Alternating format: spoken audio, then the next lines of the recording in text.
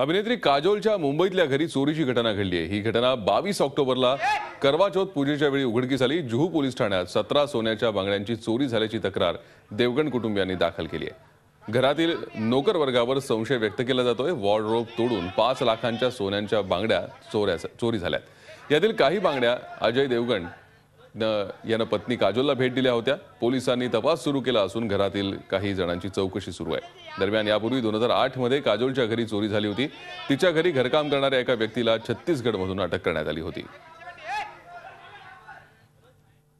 Zee चोवीस तास एक पाऊल पुढे.